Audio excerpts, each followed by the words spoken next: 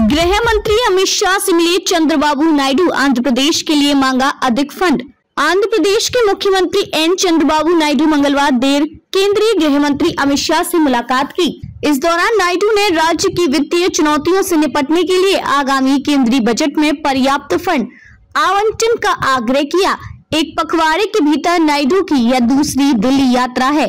सूत्रों के अनुसार शाह के आवास पर बैठक के दौरान तेलुगु देशम पार्टी अध्यक्ष ने इस बात पर ज़ोर दिया है कि आंध्र प्रदेश 2014 में अन्यायपूर्ण विभाजन के परिणामों का सामना कर रहा है दो दिवसीय दौरे पर मंगलवार शाम राष्ट्रीय राजधानी पहुँचे नायडू बुधवार को केंद्रीय वित्त मंत्री निर्मला सीतारमण से मुलाकात कर राज्य की वित्त जरूरतों पर चर्चा कर सकती हैं। वे प्रधानमंत्री नरेंद्र मोदी से भी मुलाकात कर सकती हैं। इससे पहले अपनी पिछली दिल्ली यात्रा में नायडू ने 4 जुलाई को प्रधानमंत्री नरेंद्र मोदी से मुलाकात की थी।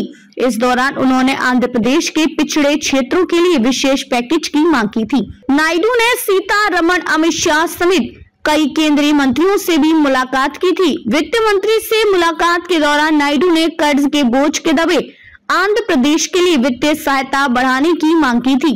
नायडू ऐसे समय में राष्ट्रीय राजधानी पहुँचे हैं, जब जदयू के राष्ट्रीय कार्यकारी अध्यक्ष संजय कुमार झा ने भी सोमवार को वित्त मंत्री निर्मला सीतारमण से मुलाकात कर आगामी बजट में बिहार के लिए अधिक फंड की मांग की थी। गौरतलब है कि तेदेपा और जदयू राजद के प्रमुख घटक हैं।